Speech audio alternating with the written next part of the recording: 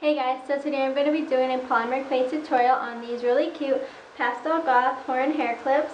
So this is what they look like once they're on and all you'll really be needing for this tutorial is polymer clay, clips, and glue. So let's get started with the tutorial. So you're going to want to start off with two balls of clay that are about the same size and then two hair clips. So first take the first ball of clay and you're going to want to start shaping it into a cone shape. So just push the bottom down and then start to pull uh, or pinch the clay at the top to make it a cone shape.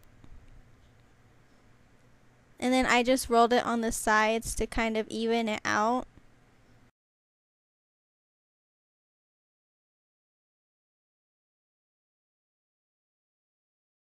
Then I started to smooth the bottom around and then lastly, you're going to want to pinch the tip and then curl it.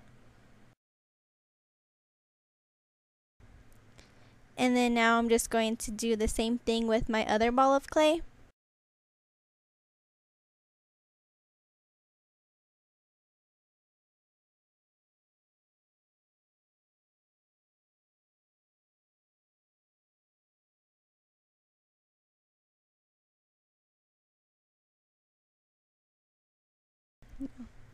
So now once you have your two horns, you're going to want to bake them.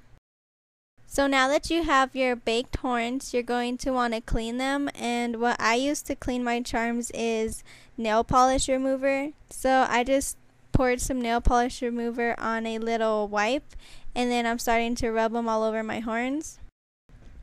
After you've cleaned your horns, now you're going to want to use some glue to glue them to your hair clips. And I use E6000 glue and then you're going to want to hold them onto your clip because they'll start to slide. So just hold them for about 30 seconds and then they'll be good.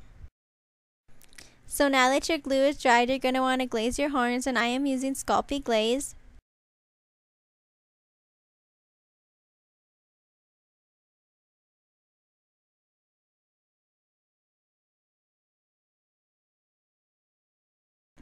So there you have it. Now you have super cute pastel goth horn hair clips. So thank you guys so much for watching. Please comment, rate, and subscribe. Also, please be sure to check out all the links in the description box below, including my Storenvy. Also, please be sure to follow me on Instagram at Tootsie Toni, and thanks for watching. Bye!